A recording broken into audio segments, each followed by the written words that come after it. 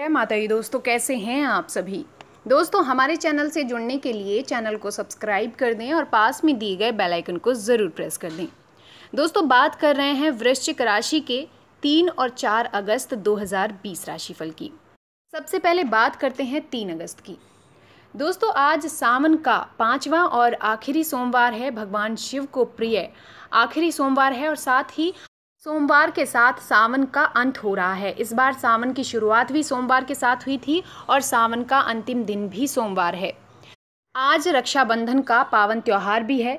इस दिन बहनें अपने भाई की कलाई पर रक्षा सूत्र बांधती हैं। तो आइए जानते हैं आज का दिन आपके लिए कैसा रहेगा।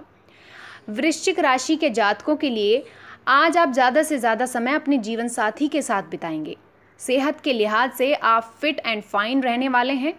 किसी दोस्त की मदद से आपके स्वभाव की तारीफ़ होगी। आपका मान सम्मान बढ़ेगा, समाज में आपका रुतबा बढ़ेगा।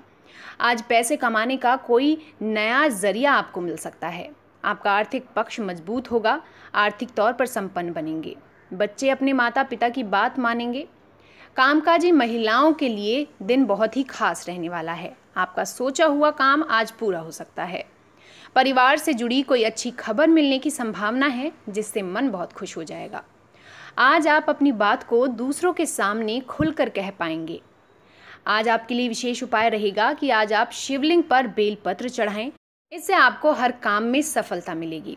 दोस्तों, अब बात करते हैं चार अगस्त की। आज ऑफ़िस में बड़े अधिकारियों का आपको सहयोग मिलेगा। आमदनी में इजाफा होने के आसार नज़र आ रहे हैं। पूरे दिन खुद को बेहतर फील करेंगे।